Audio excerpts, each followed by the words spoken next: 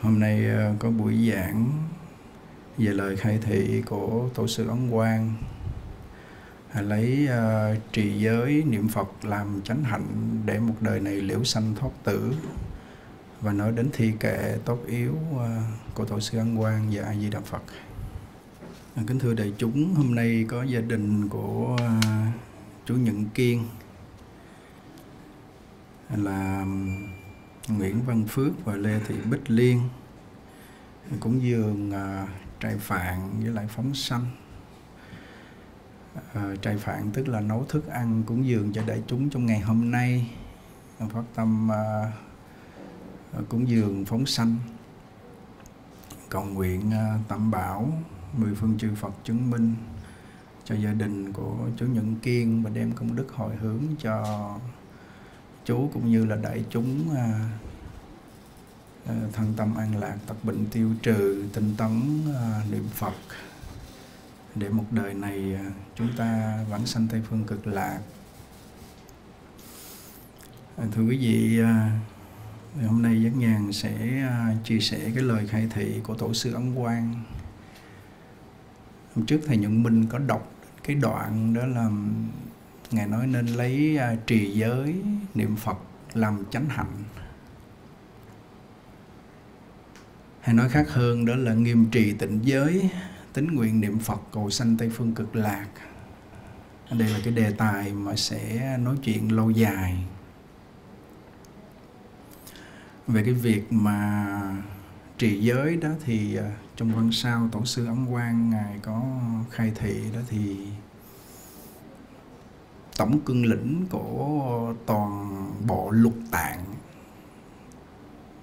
Đều nằm gói gọn trong hai cái câu đó là đừng làm các ác vâng làm các thiện. Câu này tưởng chừng như là đơn giản,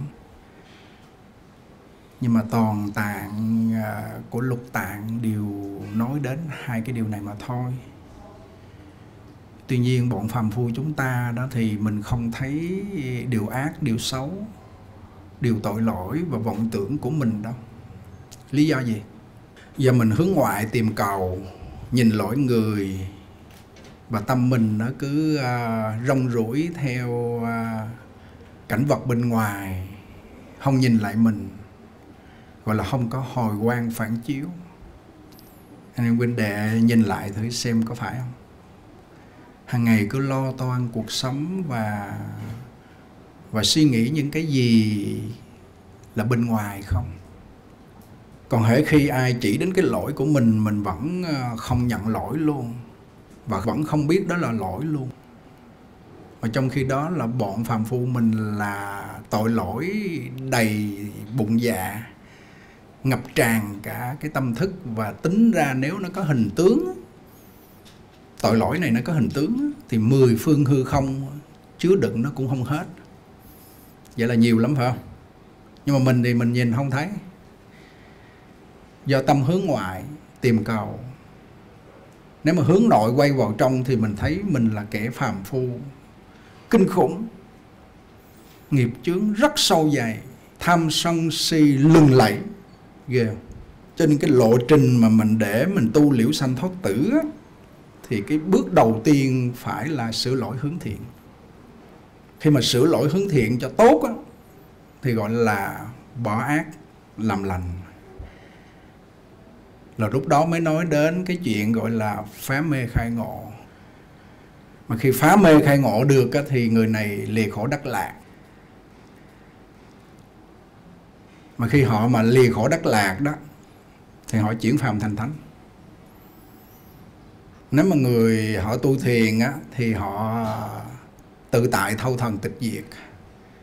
Một số những người tuy rằng họ ngộ rồi, họ làm chủ được cái à, dòng sanh tử nhưng mà chưa có đoạn được nhị tử, tức là phần đoạn và biến dịch sanh tử thì họ vẫn bị sanh tử.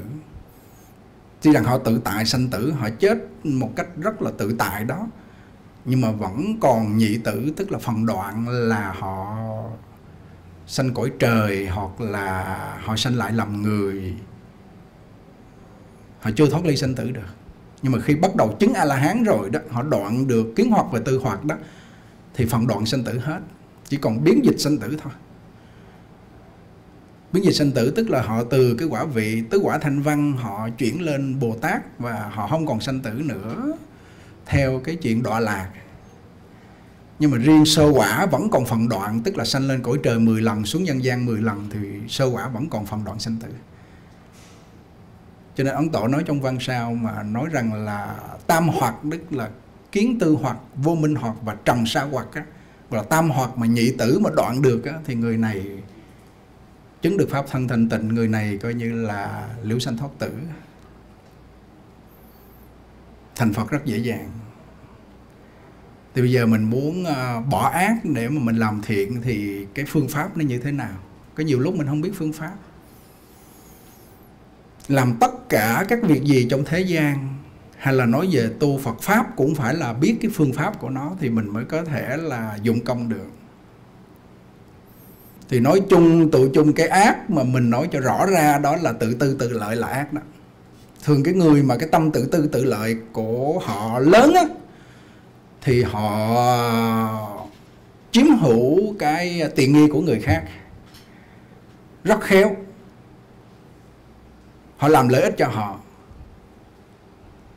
Cái người mà tự tư tự lợi là họ không biết giúp người, hại vật.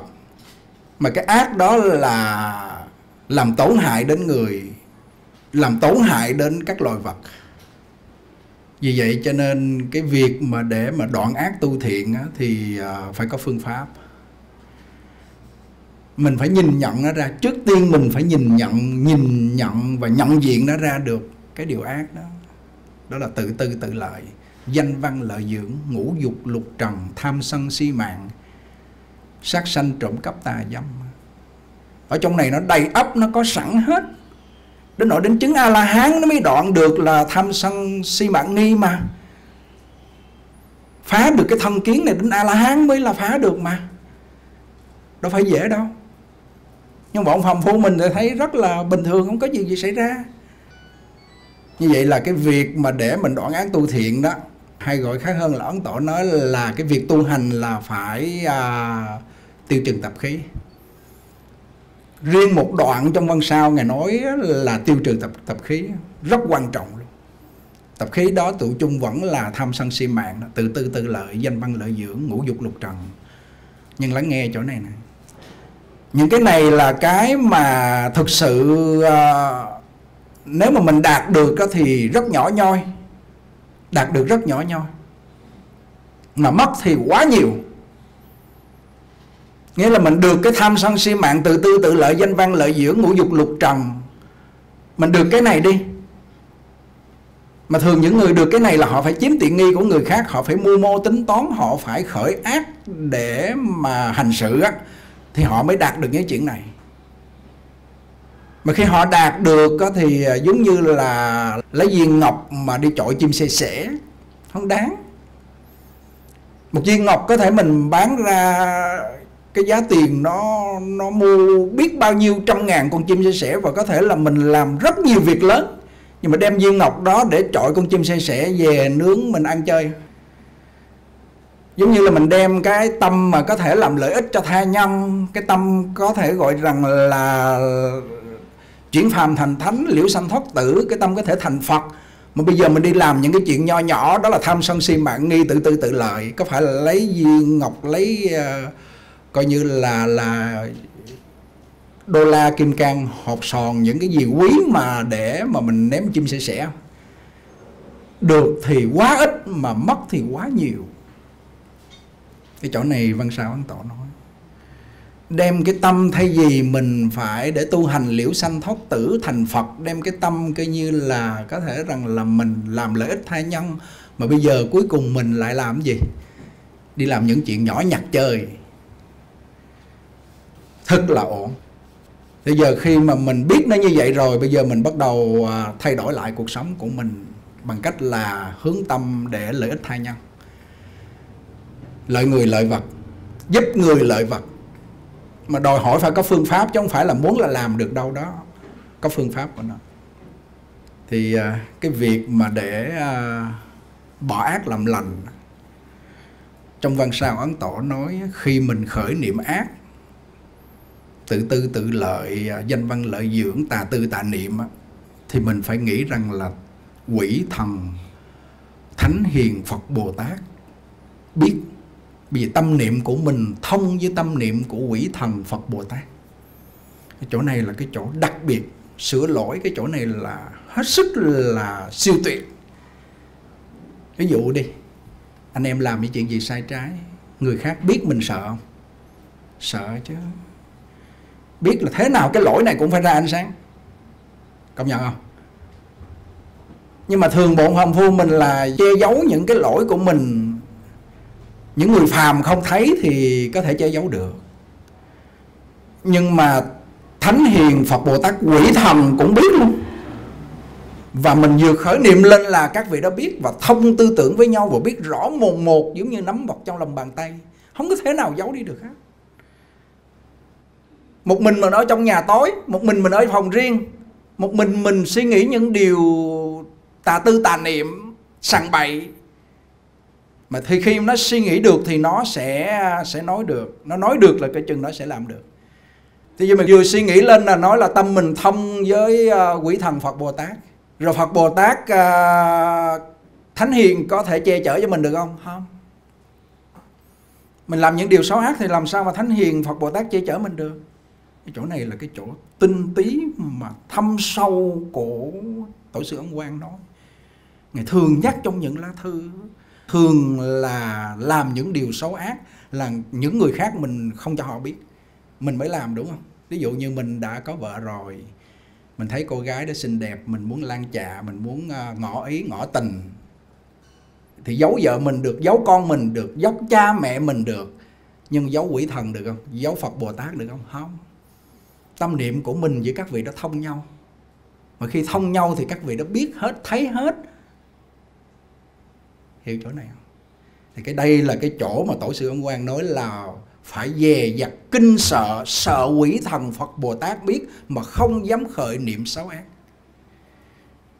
Chỗ này hay tuyệt luôn nếu ai nếu ai có cái ý niệm này trong lòng thì thực sự tâm người này sẽ sẽ thanh tịnh. Bởi vì khởi niệm lên là Phật quỷ thần Bồ Tát biết hết thì làm sao họ dám làm? Còn mình mà đã dám làm rồi đó, thì đây gọi là kẻ phá gia chi tử. Không phải là thích tử nữa, không phải phật tử nữa. Không phải là người gọi rằng là gánh giác sứ mệnh của phật nữa.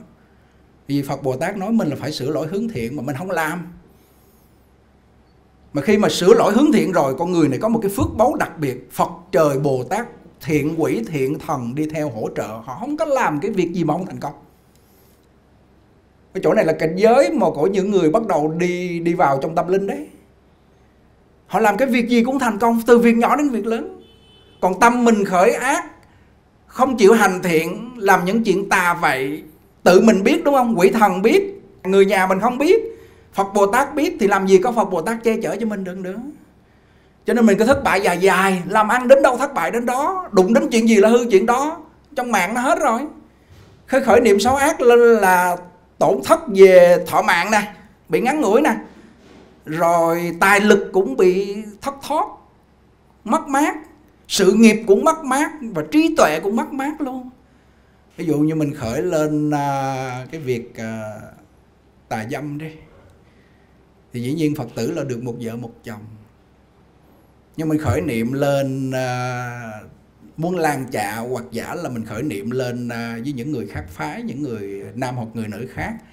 Người nam khởi niệm người nữ người nữ khởi niệm người nam. Hôm nay có cái kiểu mà người nam khởi niệm người nam nữa. Hòa thượng tiên hóa ngài nói bên mỹ bữa nay họ đám cưới luôn cho bd giữa nam với nam. Ngài kêu đây là một cái thời nó loạn. Họ cho đám cưới luôn thành vợ thành chồng luôn. Lúc của họ bên mỹ là vậy. Mình làm ngay chỗ san francisco là cái chỗ mà gần vạn phật thánh thành đó. Hòa thượng tiên hóa nói cái thời này nó loạn quá rồi. Nam với nam đám cưới, nữ với nữ đám cưới luôn. Thì khi mà mình khởi niệm như vậy thì trong mạng mình bắt đầu mất. Mất những cái gì? Mất những cái quý giá vô cùng. Đó là thọ mạng. Thọ mạng kéo dài, mình có thể là mình hưởng được cái của cải vật chất mình làm ra, đúng không? Cho nên mình làm ra của cải kích xù quá trời giàu có. Tỷ phú luôn. Đại gia mới có ba mấy tuổi chết rồi có hưởng được gì không? Thọ mạng quan trọng cực kỳ nhưng mà thường những người mà họ sân hận rồi họ ích kỷ rồi cái tâm của họ thường khởi dâm dục á, thì thọ mạng ngắn rất nhanh. Mất cái thọ mạng mà họ không biết. Chỉ có phật chỉ mình mình biết đúng không? Ai nói cho mình biết?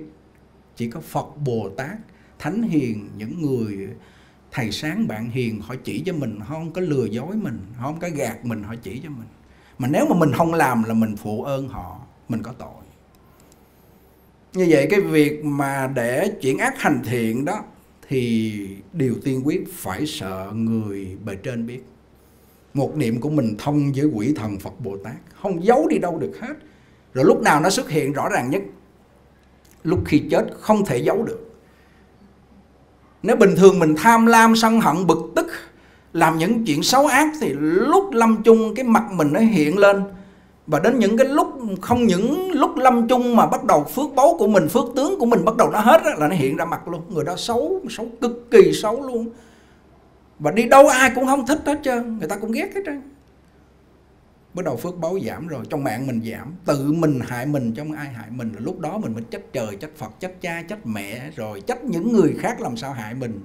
Thực ra cái đó do tâm mình chiêu cảm thôi. Tâm mình khởi lên là tâm mình mời chuyện đó đến thôi. Nhất thiết di tâm tạo đó. Những cái cảnh tượng đó là do tâm mình sanh ra. Những cái hiện tượng đó là do tâm mình sanh ra. Nhưng mà mình lại trách đi người khác, không trách mình. Đó là gọi là vô minh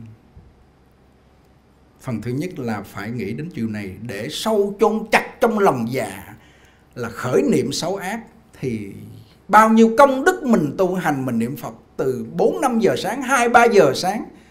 Bao nhiêu cái phước báu mình làm cho đại chúng nấu cơm, nấu nước, làm đậu hũ vân vân lo cho đại chúng khởi niệm sằng bậy mất hết. Một đốm xong nữa vậy tiêu cả rừng công đức. Nguy hại không? Vì vậy cho nên khi mình làm được những cái phước báu rồi thì phải có phương pháp để mà bảo hộ cái tâm mình. Cái phương pháp bảo hộ cái tâm mình cũng phải là cái việc đó là vì lợi ích tha nhân. Suy nghĩ đến những cái chuyện mà làm lợi ích cho chúng sanh, ngoài cái việc đó mình phải có dụng công nữa đó. Niệm phật, trì đại bi, niệm quan âm, dụng công tu hành nhiều cái cái cái thiện pháp để mà nó hàng phục cái tâm ác của mình. Thì bắt đầu cảnh giới thay đổi. Nhớ nha, khi cảnh giới trong tâm mình thay đổi rồi, cảnh giới bên ngoài bắt đầu thay đổi luôn. Nhà cửa của mình sẽ khác luôn. Công việc làm ăn của mình khác luôn. Thân tướng của mình khác luôn. Trí tuệ của mình khác luôn. Và lúc này bắt đầu ít lỗi thì gì? Ít tội. Mà ít tội thì người này ít khổ lắm. An vui vô cùng cho nên cái con đường tâm linh chỉ có đức phật là người vạch chỉ cho chúng ta. Chứ thực sự những người ở thế gian, tuy rằng họ giỏi về cái mặt kiến thức của thế gian, bác sĩ, kỹ sư họ làm những việc rất giỏi, chế máy bay, phi cơ, súng đạn, vân vân. Đó chỉ là tri thức của thế gian, vẫn là đau khổ như thường thôi. Chỉ có cái cái cái việc đó là học theo cái lời Phật dạy thì người này họ an bình, họ sống, họ an lành, họ sống họ vui vẻ, họ sống. Đại chúng nhớ cái điều này sáng đầu tiên nói đó là cái việc sửa lỗi là phải biết một niệm của mình thông với quỷ thần Phật Bồ Tát, Thánh Hiền, không dám làm. Nhất quyết không dám làm, có thể gọi rằng là họ cưỡng hiếp, họ đưa dao, họ giết mình cũng không làm. Thay vì chết thân mạng này chứ không làm những điều xấu ác. Không dùng cái cái thân đang ở trong ngôi nhà tam bảo, không dùng cái cái cái uh, tâm thức của mình đang được tam bảo che chở và hướng của tam bảo mà đi làm cái chuyện xấu ác không không làm. Thà chết không làm. Trong giới luật của nhà Phật là thà chết chứ không phạm giới. Đó là cái việc đại chúng à, nắm cho vững cách sửa lỗi hướng thiện. Mà khi mình sửa được cái lỗi ác ví dụ là sát sanh hôm nay mình không ăn thịt chúng sanh nữa hoặc giảm lần đi rồi bắt đầu mình bỏ luôn cái việc ăn thịt chúng sanh. Bắt đầu mình bước sang cái chuyện là phóng sanh thì cái việc phóng sanh đó là hành thiện, mà cái việc bỏ sát sanh và không ăn thịt chúng sanh nữa là đoạn ác. Thì bây giờ bắt đầu mình sẽ sẽ sẽ thăng tiến cảnh giới lên từ từ, lần lần. Mà khi bắt đầu mình thăng tiến lên thì thì bắt đầu là bỏ đi một phần ác, thì bắt đầu một phần thiện, một phần phước báu, một phần công đức nó tăng lên. Rồi một cái phần ngộ ngộ nó bắt đầu nó tăng lên. Mà khi bắt đầu người bỏ ác hành thiện, người này được xem gọi là thiện nhân mà thiện nhân này là cơ hội để về tây phương cực lạc rất cao. Bởi vì họ đem cái cái tam nghiệp là thiện á, mà để mà họ niệm phật á, thì cơ hội họ về tây phương cực lạc rất cao.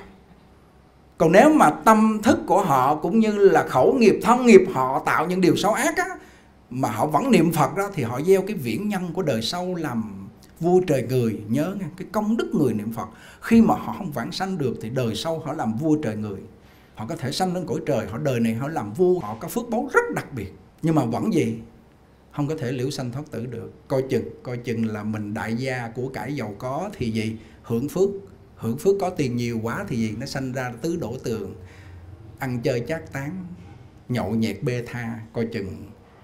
Phạm phu mình rất dễ phạm vô cái việc này. Có phước là hưởng phước, mà hưởng phước thì tạo nghiệp sát trộm dâm dối liền liền bên cạnh luôn. Nó là như vậy tuy rằng cái này nghe đơn giản thôi nha, nhưng mà rất là sâu sắc. Toàn bộ luật tạng nói về là bỏ ác làm lành. Mà làm lành đến cái tột cùng của lành đó là tự giác giác tha, tự lợi lợi tha, tự giác giác tha, giác hạnh viên mãn là phật. Phật cũng làm tự lợi lợi tha, lợi mình, lợi người cho đến viên mãn luôn là thành phật chứ gì đâu còn mình cứ tự lợi cho mình không à? Lợi tha không có tới nỗi tha nhân là người vợ, người con mình cũng không quan tâm, không có bổn phận luôn á. Người chồng, người con mình ờ, cũng không có bổn phận luôn. Đừng nói bên ngoài thì cái phước báu mình bắt đầu giảm. Người này rất khổ khổ đến mức độ như bà thanh đề là là khổ quá rồi, làm lò quỷ đói, đọa địa ngục luôn. Dễ sợ nhá ừ. nhưng mà đọa địa ngục họ cũng là là một à, một mẫu nhân vật để mà diễn ma hai diệu pháp đấy cái chỗ này rất sâu sắc. Vừa rồi mới đi lên xe bên của chú Đức ngồi trên đó hôm qua để ban đất làm mặt bằng của nhà dưỡng lão bên đó. Ngồi trên xe mà chú Đức thì hay mở uh, lời khai thị của Hòa Thượng Tiến Hóa.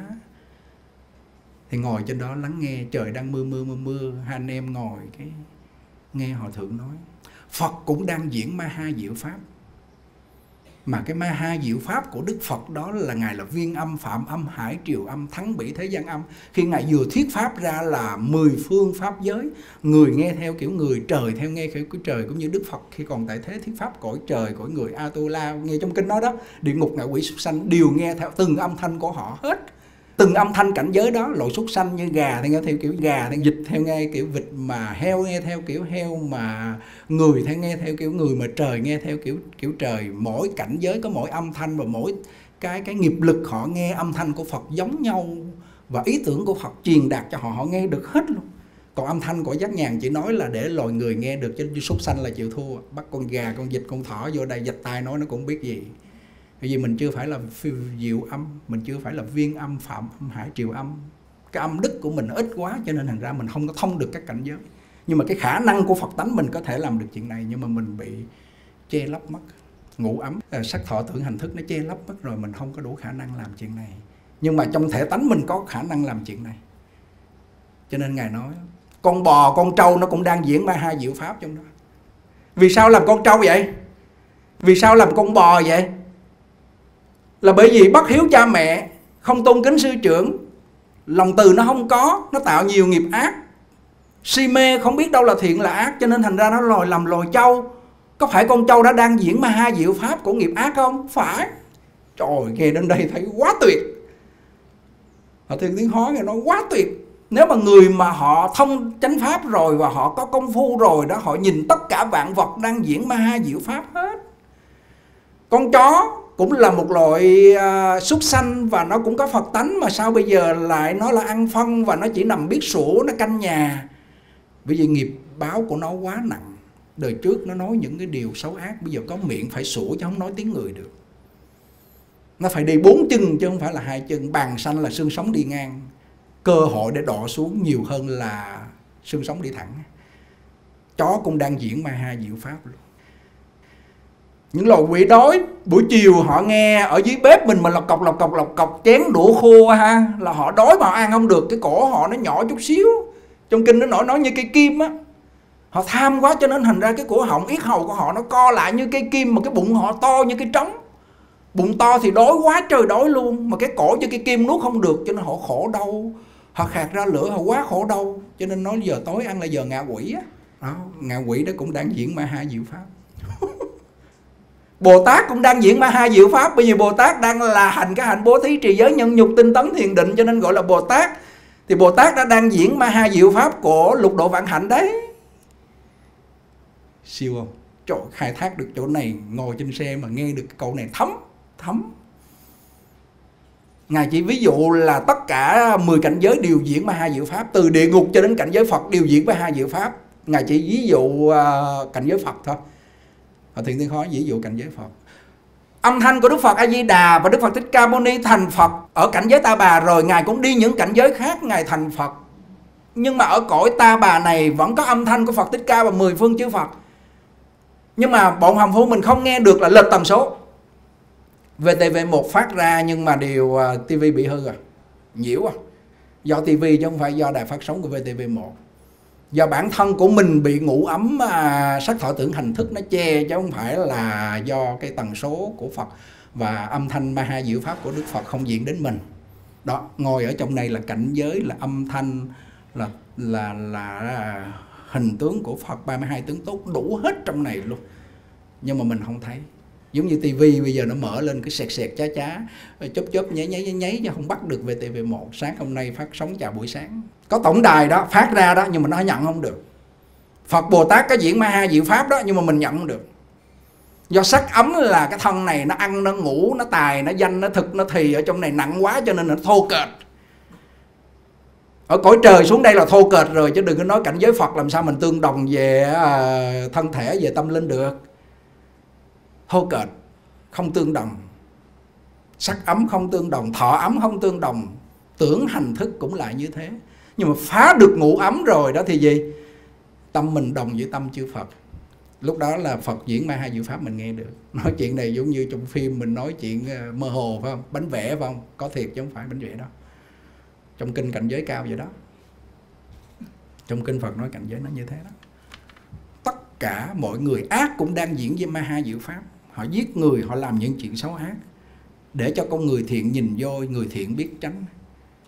Cho nên à, hồi hôm qua đi à, lên trên chùa mỗi lần lên nhìn những cái tượng của bồ tát à, thiên thủ không có đi ra Đà Nẵng nhưng mà lấy à, cái iPad chụp chụp chụp từng đoạn từng đoạn của các tượng Bồ Tát rồi chụp ừ, thiên thủ gửi ra anh cao ở đà nẵng, ảnh làm một cái tượng thiên thủ của bồ tát. Mình trì đại bi cho nên thành ra có bồ tát thiên thủ thiên nhãn để ờ, trước chùa mình lên nhìn sắc diện của ngài, nhìn ba mươi hai vị bồ tát ờ, quan hệ.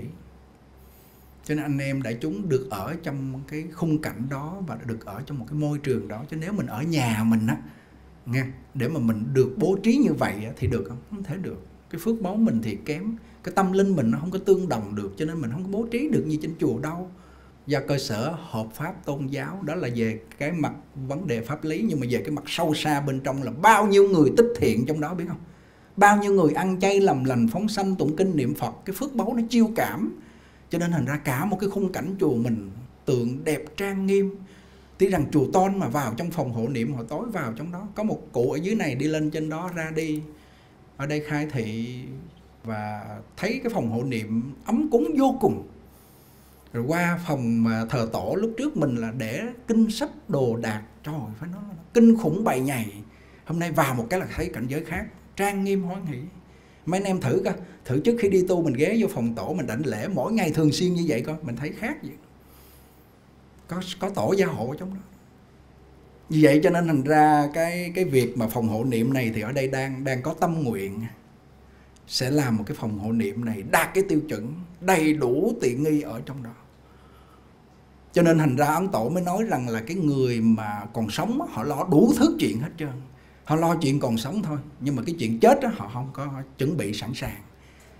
Cái chuyện chết là lúc lâm chung uh, coi như gia đình bỏ rối không có chỗ để nằm luôn.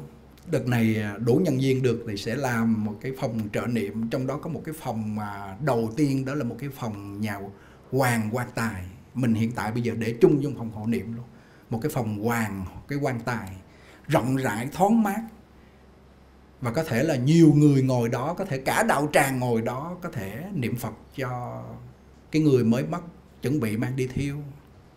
Có thể nó chiều ngang à, 27, 28 mét chiều sâu nó mười mấy hai chục mét. Rộng cái sảnh ở dưới đó rộng. Chừng lỡ thầy nhuận minh thầy đi rồi mình làm đám nó cũng rộng rãi. bây giờ mình sao? Bà cụ lúc trước ra đi phải mang qua chánh điện phụ, mà để quan tài trước chánh điện, trước phật. Không nên, trong luật không cho. Thì bây giờ mình phải làm một cái sảnh thiết là trang nghiêm. Bây giờ lỡ mà mà mà những người có có có cái công đức mà để phục vụ đại chúng như chú nhận lành đi. Đó, hôm qua quay phim đồ này nọ kêu ông xuống này có đèn, có điện, ông có công thì cuối cùng phải đưa ông lên chánh điện phụ với giờ sao ai mà để chung với phật tử? Lỡ ngày mai ông ra đi rồi sao? Thực ra cũng không có hợp lý về cái chuyện mà mình bố trí quan tài. Giờ phải làm một cái chỗ nhà hoàng, một cái chỗ để quan tài đẹp, trang nghiêm. Phật tử họ về họ nhìn họ thấy trời, bông hoa, đồ quan tài, phật tử ngồi niệm phật. Thích không? Quá tuyệt. Bên trong đó là một có phòng, một cái phòng hộ niệm chiều ngang khoảng 8 đến 10 mét, chiều dài 15 20 mét. Cho nhiều người trong đó có thể chứa 100 người họ trợ niệm cho những người ở trong đó và cái phòng đó có thể là để 20 giường 15 giường trong đó. Thoáng mát, đầy đủ tiện nghi. Rồi bên trong đó rồi vừa mất cái mình đẩy vào bên trong đó là một cái phòng mà người vừa mất. Có một cái bàn riêng để niệm Phật cho họ. 24 tiếng xong đó bắt đầu mình mới đẩy vào bên trong để tắm sát rửa ráy lâu lâu sạch sẽ người hết rồi. Rồi bắt đầu là mình liệm rồi bắt đầu mình mới đẩy ra bên ngoài. Phòng đầu tiên hồi nãy nói đó là cái phòng gọi là hoàng quan tài trong đó có một cái phòng để những người bệnh mà lỡ đông như trên chùa mình đông mắt thì mình nằm một cái phòng bệnh đó, nhưng giống như là một cái phòng cấp cứu, một cái phòng mà dưỡng bệnh năm sao luôn, đầy đủ tiện nghi ở trong đó. Mà trong cái phòng đó là có bếp nút, có nhà vệ sinh sạch sẽ, đầy đủ tiện nghi. Bốn cái phòng rồi đó. Mình chuẩn bị cho cái chết, mình chuẩn bị cho người chết ra đi nhẹ nhàng, mình có một cái phước báu đặc biệt. Mà bây giờ mình đây là chung một cái khu luôn cái phòng mà các cụ đang nằm bệnh yếu đó cũng chung trong phòng hộ niệm luôn. Rồi à, khi mất cũng để bên cạnh đó để hộ niệm tiếp 24 tiếng luôn. Rồi khi à, hoàng quan tài cũng để trong đó hết, nhưng mà bây giờ mình làm tách bạch ra hết thì nó trang nghiêm, nó thanh tịnh. Hôm qua có một cô Long Nguyễn, cô ở bên à, Chicago, cô gọi về, cô nói, con mê cái phòng vãng sanh của thầy lắm. Ở nước Việt Nam con chưa thấy phòng vãng sanh nào mà đông người như vậy, con nguyện khi mà dịch bệnh ổn ổn hai, ba năm nữa, con về hưu là ba anh em con phải về ở bên đó, ở để chừng lúc lâm chung á, là sẽ vô phòng hộ niệm. Dân nhàn nói vui vui, cái phòng hộ niệm bây giờ xấu lắm, không có tiện nghi đâu, vài bữa sẽ làm phòng hộ niệm năm sao. Với cái, trời ơi chúng bánh không, thực sự ở đây có tâm nguyện như vậy mà cũng khá lâu á, có cái tâm nguyện như vậy để làm gì? Tiễn đưa người lúc lâm chung giúp cho một phàm phu chúng sanh thành phật. Công đức này thù thắng. Lẽ dĩ nhiên phải cần cả mấy anh em huynh đệ hỗ trợ nhau để làm công việc này. Rất nhàn mơ ước công việc này, mà chắc là mơ ước này sẽ sẽ trở thành hiện thực. Vì mình mơ ước cho tha nhân, cho chúng sanh, chứ không phải mơ ước cho riêng mình. Cái chỗ này, nhớ. Hôm nay à, có một cái đặc biệt, đó là có một nhóm à, Phật tử, họ cũng nghe qua những cái video của Giác Nhàn như chị Bích làm trưởng phòng VTV1 chào buổi sáng. Em của chị Bích, rồi anh Toàn, anh ở Hà Nội, anh Dũng thì vô đây. Toàn là những người đắc lực của VTV1 vô đây để hỗ trợ cho mình.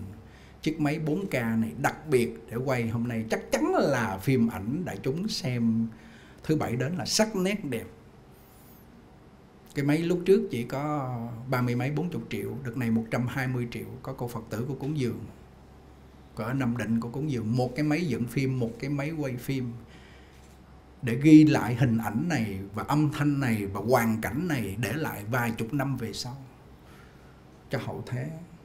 Phật pháp nên lưu truyền qua đạo tràng trên không trung, qua phim ảnh như vậy. Cho nên rất cảm ơn cảm ơn, rất cảm ơn các vị mà bỏ cái thời gian quý báu từ Hà Nội mà lúc bây giờ đang dịch bệnh mang mấy móc đồ vô trong này để mà giúp cho giác nhàn. Thực sự đây là cái ân nhân lớn. Bởi vì cái cái niềm đam mê giảng pháp và cái niềm đam mê để mà làm video điện ảnh là ở đây đam mê, rất đam mê. Đam mê không phải là mình à, thích thú để vì danh lợi gì nhưng mà đam mê để mà truyền tải cái Phật pháp đến từng chúng sanh thì hôm nay gia đình của mình đang ngồi hết ở đây. Và một số quý phật tử ở trên đó và và một số các cụ ở dưới này thì mình sống gần như là trong một cái đại gia đình. Mà cái đại gia đình của mình thực sự là đang à, sửa lỗi hướng thiện đó. Mà người nào mà sửa lỗi hướng thiện đắc lực đó, thì người này đột phá cái mê rất nhanh. Mê chấp về cái thân này nó là mình mê chấp vọng tưởng này là mình. Cái suy nghĩ à, lung tung à, bất an là mình khổ đau là mình. Mê. Nhận giặc làm con tham sân si là mình. Giận hờn là mình. Hôm nay đột phá nó được không phải là mình nữa ngộ. Mình là cái gì? Mình là một cái tâm chân thật bất hư và tâm của mình đó, nó thường hằng mà tịch và chiếu chiếu mà tịch. Vạn vật đến thì nó soi rõ ràng giống như một cái gương. Vạn vật đi, nó vẫn vắng lặng, sáng suốt. Mà khi mà vạn vật đi, nó vắng lặng, sáng suốt, đó gọi là tịch. Mà vạn vật tới, nó soi rất rõ ràng, đó gọi là chiếu. Tịch mà chiếu chiếu mà tịch tâm của mình gọi là đại viên cảnh trí. Cái người mà niệm phật, họ sửa lỗi được thì cái a la gia thức bắt đầu nó rơi rụng những cái chủng tử xấu ác tham sân si mạng nghi. Thì chủng tử ở trong a la gia nó rơi rụng rồi rồi bắt đầu là cái à, tàn thức là cái a la gia thức bắt đầu chuyển thành đại viên cảnh trí. Nó chuyển thành đại viên cảnh trí. Đại viên cảnh trí là những một cái gương lớn vạn vật đến nó soi rất rõ ràng, không có sót một vật nào hết, gọi là chiếu. Đó những người họ đạt được cái công phu để mà họ chuyển cái tâm thức họ mà ai lại gia thành đại viên cảnh trí thì họ giải quyết tất tần tật công việc thế gian và xuất thế gian một cách rất nhẹ nhàng, gọn gàng và vạn vật đến họ giải quyết xong. Và cái chướng ngại gì đó họ cũng nhận chịu để họ giải quyết xong rồi. Khi mà vạn vật đi rồi, không còn giải quyết công việc nữa thì họ trở về cái tâm thường hằng thanh tịnh, gọi là tịch mà muốn để trở về cái tâm thường hằng thanh tịnh để gọi là tịch mà đối vọng phàm phu chúng ta mà không niệm phật thì khó làm vô cùng. Phải niệm phật. Phải niệm phật. Đó, con người thực của mình nó là như vậy đó. Chứ không phải con người thực của mình mà mà phải là vọng tưởng, buồn phiền, tham sân si mạng, khổ đau như vậy đâu. Đó, con người giả đó. Ngay nơi sống đó, có tướng sống đó nhưng mà sống tan đi thì nó trở về lại cho nước. Ngay nơi vọng tưởng đó, thức ấm đó, nó suy nghĩ đó mà thức ấm nó nó tan đi rồi nó không còn suy nghĩ nữa, nó trở về lại cái tâm tĩnh lặng của mặt nước hồ thu á. Thì đó là cái thể tánh thanh tịnh của mình, nó là mình đó. Thường trở về thể tánh thanh tịnh như vậy đó. Thì bọn phàm phu mình thì thường niệm phật thì nó mới trở về thể tánh thanh tịnh được. Mình đó. Hôm nay à, có soạn ra cái thi kệ tốt yếu của tổ sư ông quang ngài nói về bốn cõi tịnh độ, phàm thánh đồng cư độ. Là con người mang nghiệp cũ vãng sanh, đới nghiệp vãng sanh. Đoạn được kiến hoặc tư hoặc, trong đời này họ về phương tiện thánh cư độ. Làm nhẹ vô minh hoặc. Có đoạn mà chưa sạch á, họ sanh về thật báo à, trang nghiêm vô chứng ngại độ. Họ đoạn sạch vô minh luôn, như các vị đại bồ tát thì sanh về thường tịch quan tịnh độ thì có những người hỏi ông tổ nói, cái cảnh giới tây phương cực lạc có tứ độ cũ phẩm. Nhưng mà trong kinh kim cang nói là phàm sở tướng giai thị hư vọng. Ở chỗ này nói về thiền một chút hơi sâu nha. Tất cả những cảnh giới của phật bồ tát có tướng là hư vọng. Tây phương cực lạc cũng có tướng, bên đó nhà xây bằng bảy báu xá cừ, mà não sân hô lưu ly hổ phách. Cảnh giới của ngài là vàng rồng lót đường đi chim diễn ma ha diệu pháp cây nước điều diễn ma ha diệu pháp hết. Đó là tướng mà tướng đó là là huyễn là vọng không thiệt. Thì tổ ông quan nói nè nè nè nè nếu là phật á, thì nói cảnh giới cực lạc là huyễn thì được. Bởi vì các ngài chứng như huyễn tâm muội rồi. Còn mình là kẻ phàm phu chưa chứng như huyễn tâm muội mà nói cảnh giới phật là không thật á mà đem kinh kim cang cái lý mà phá đi cái sự, mà sự đó là cái cái diệu hữu bên tây phương á, thì có hại chứ không có ích đâu. Một số các vị họ tu về lý tánh, họ thấy chỉ cái cảnh giới người thôi, chứ 10 cảnh giới là cảnh giới Phật, cảnh giới Bồ Tát, thanh văn, duyên giác, họ không thấy. Cảnh giới trời họ không thấy, cảnh giới người thì họ thấy, cảnh giới súc sanh thì họ thấy, nhưng mà cảnh giới ngạo quỷ là họ không thấy rồi. Nhưng mà họ nói là không thấy không có, không phải, do mình bị ngăn che nghiệp lực ngăn che chứ không phải không có. Nếu mà nói là tướng do tâm sanh, cảnh tỳ tâm trưởng thì được. Nhưng mà nói nó ngoài tâm không có tướng á, thì không được. Ngoài tâm không có cảnh á, thì không được. Tướng do tâm sanh, cảnh tỳ tâm chuyển đúng. Cái nhà này cũng do cái tâm mình sanh ra, suy nghĩ rồi làm sao đó, sắt thép đường sao đó. Tất cả vạn vật đều do tâm mình suy nghĩ làm ra hết. Cho nên nhà Phật có cái câu là tướng do tâm sanh. Tất cả vạn vật do tâm sanh mà nói ngoài tâm mà không có cảnh á, thì không được. Ông nói vậy thì có hại chứ không có ích gì đâu. Ghê Bồ Tát. Đó siêu nghe những đoạn này thấy siêu xuất bây giờ ông bác ông nói là là ngoài tâm không có cảnh thì như vậy là cảnh với người này phải là cảnh không? Cảnh. Vạn vật là cảnh cây cối là cảnh không gian này là cảnh. Mà ông nói là ngoài tâm không có cảnh không được có chứ, mà nếu có cảnh giới người thì trong kinh nói 10 cảnh giới thì phải có cảnh giới Phật chứ. Mà có cảnh giới Phật thì có người về chứ. Phải có cảnh địa ngục, phải có người đi xuống địa ngục, có chứ. Cái tâm thức họ đi chứ. Chứ sao nói ngoài tâm không cảnh được? Phật thì nói ngoài tâm không cảnh là do Ngài chứng như hiện tâm buổi là cảnh nào cũng là cảnh Phật hết trơn. Lý luận sâu mà hay, tuyệt lắm. Trong phần sau có như là Bồ Tát Đại Thế Chí của Phật. Ấn tổ là họ thông các vị đó thì coi như Ngài nói là chuẩn. Mình theo các vị này là chuẩn thì nghe thầy Minh sẽ đọc về tứ độ mà mà thành thi kệ nha tuyệt hay Nam mô Bổn sư Thích Ca Mâu Ni Phật. Nam mô A Di Đà Phật. À, vâng theo lời sư phụ chỉ dạy, à, con xin phép được đọc à, thi kệ tốt yếu của tổ sư Ấn Quang thành tâm cung kính dâng lên cúng dường chư tôn đức và toàn thể đại chúng trong buổi sáng ngày hôm nay. Nam mô A Di Đà Phật. Pháp ngữ lời vàng thi kệ tốt yếu của Ấn Quang Đại Sư Tổ Tịnh Độ Tông thứ 13 khai thị luận về bốn cõi tịnh độ.